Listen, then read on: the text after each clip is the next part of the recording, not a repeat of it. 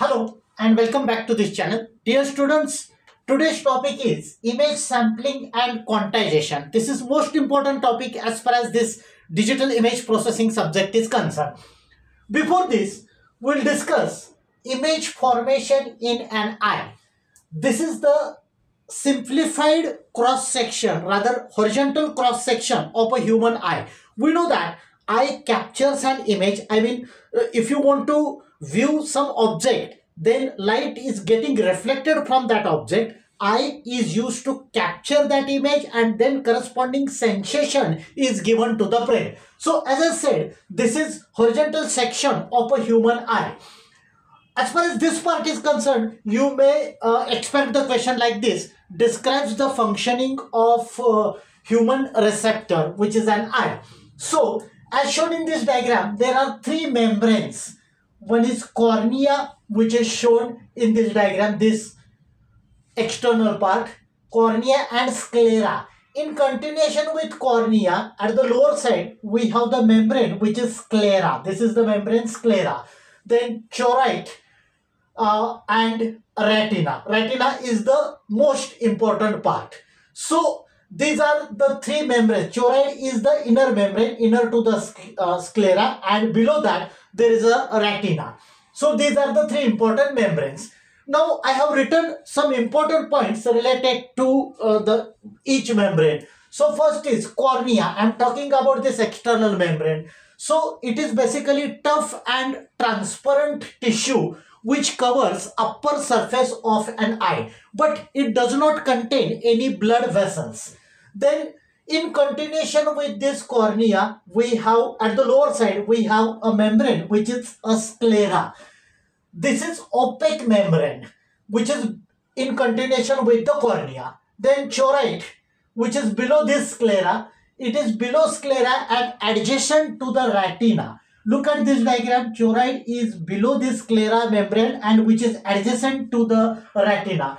This choroid contains blood vessels and it provides nutrition to the eye it is divided, this choroid part is divided into ciliary body. Actually, it contains ciliary fibers. So, it is divided into ciliary body and iris diaphragm. This part, this part is called iris, which is a diaphragm. As well as this is also iris diaphragm. So, it is divided it into ciliary body and iris diaphragm, which is also called pupil. So, it acts as this iris diaphragm basically acts as an aperture and controls the light which is entering in our eyes. Then ciliary fibers. So this part I am talking about. Ciliary fibers is basically used to focus an image. So to focus an image, uh, it is done by expanding or contraction by uh, performing expansion or contraction of the lens. this is the part which is corresponding to the lens. Now lens is basically consisting of 70% of water, 6% of fat and more amount of proteins. Whenever IR that is infrared or ultraviolet rays are uh, falling on the retina, it can it is absorbed by the protein material which is uh, which is there in the lens and it can cause uh, it can produce any damage uh, to the eye it is basically yellow pigmented. Pigmentation means heavy color concentration. So it is yellow pigmented and it is used to regulate the focusing of an uh, object. Then most important part is retina. This part I am talking about. So it is the in, innermost membrane of an eye. It has 100 million sensors. So in the central part of this retina, we have an area which is called fovea. This part I am talking about. The light from an object is imaged on an retina. Then in fovea, there are two major types of receptors, two major types of sensors. One is cones and another is rods. There are 6 to 7 million cones which are located in the fovea we can obtain, we can resolve fine details by making use of these cones because each cone is connected to the nerve end. So it provides the color sensation. Basically whatever color sensation we are getting that is because of the cone. As I said, uh, there are 6 to 7 million cones and each cone is connected to the nerve. Then rods it is again uh, some type of se uh, sensor or receptor. Numbers are much larger than that of cones, but they are not giving fine details. So it captures overall image of the field, but it is not providing fine details. It don't have any color vision, but it is sensitive to the low illumination. So these are some important points related to the natural receptor that is uh, related to the human eye.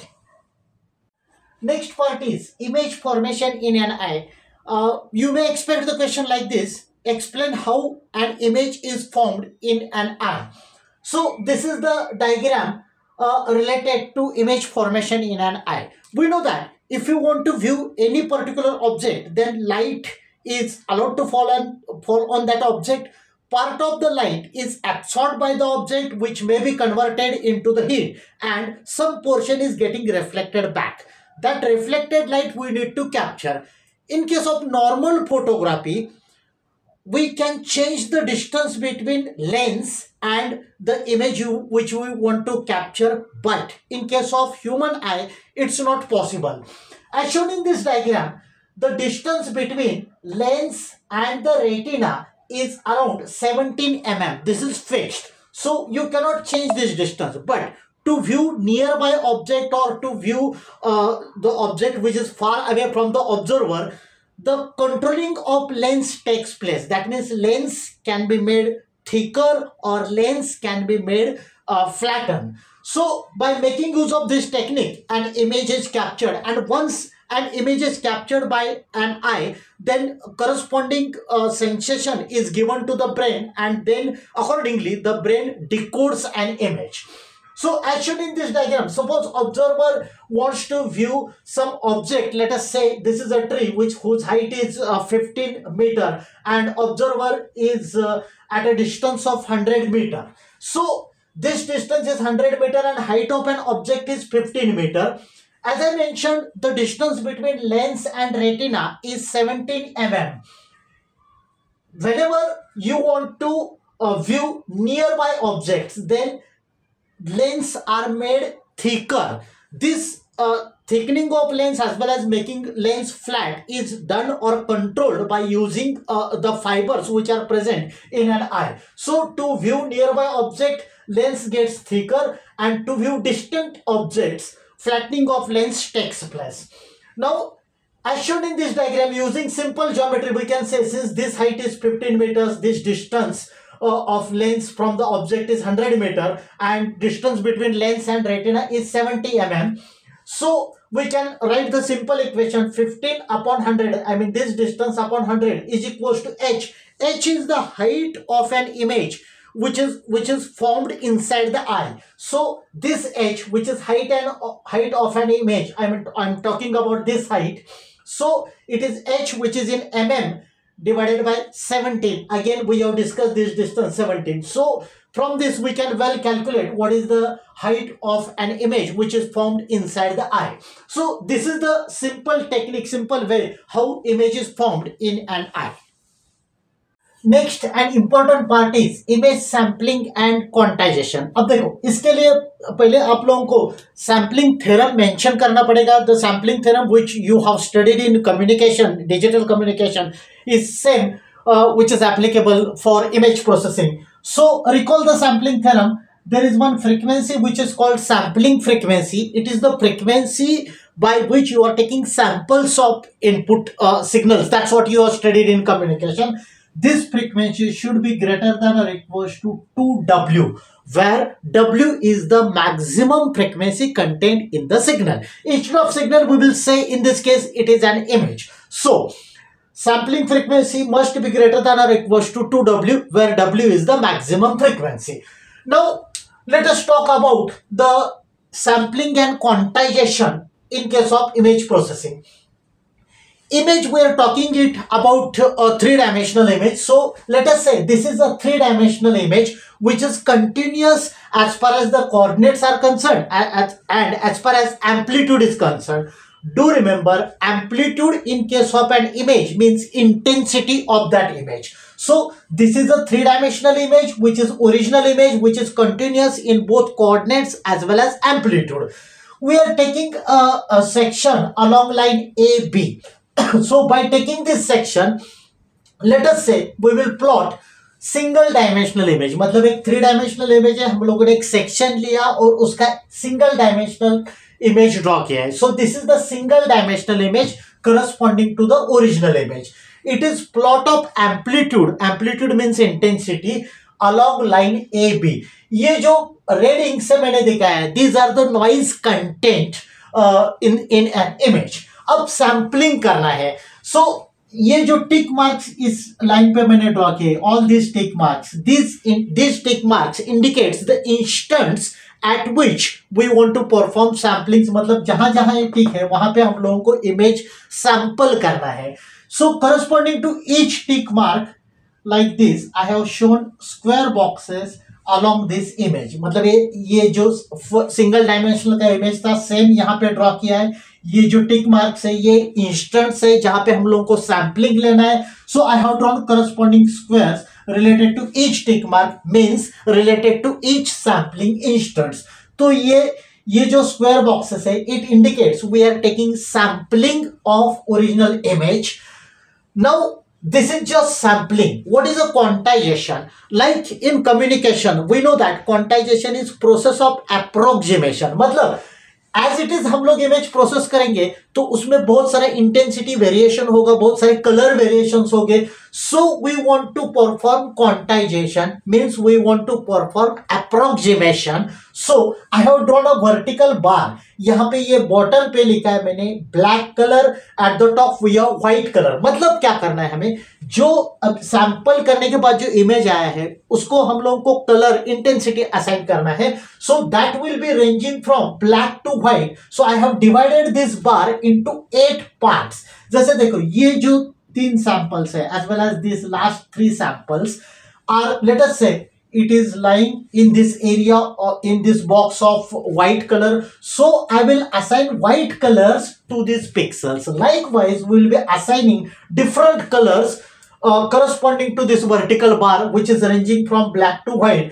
मतलब ये pixel जैसे these are falling in range of white box तो इसको white colour assign करेंगे ऐसे अलग अलग colours assign करेंगे which will be ranging from black to white and total will be assigning eight colours So accordingly, we will get this value, which is called this image or this diagram, which is called a quantized image. Basically sampling means digitizing the coordinate values whereas quantization means digitizing means obtain the digital version digitizing amplitude values and amplitude is intensity अब और एक concept आप लोगों को पता होना चाहिए as per as the sampling and quantization of image is concerned. See, sampling is basically related to the frequency. In case of image, there are ideally infinity frequencies. So, it is rather impossible to avoid the aliasing image in case of an image processing. So, what is the aliasing? Aliasing is basically mixing of the frequencies. हम लोग ऐसे correlate कर सकते हैं. Aliasing means mixing of certain frequencies with original frequency components when this aliasing will take place if you are not following this sampling theorem लेकिन image processing में जैसे मैंने बताया there are various higher frequency components so aliasing takes place uh, i mean you cannot avoid avoid aliasing such easily so to avoid the aliasing or to minimize the aliasing we are suppose to blur an image मतलब image जो है उसको blur करेंगे blur करने के बाद उसके जो हाई फ्रीक्वेंसी कंपोनेंट्स है वो वैनिश हो जाएँगे and then we will perform sampling and quantization so this is about Uh, image sampling and quantization. So dear students that's it for today's session. So thank you. Thanks a lot for watching this video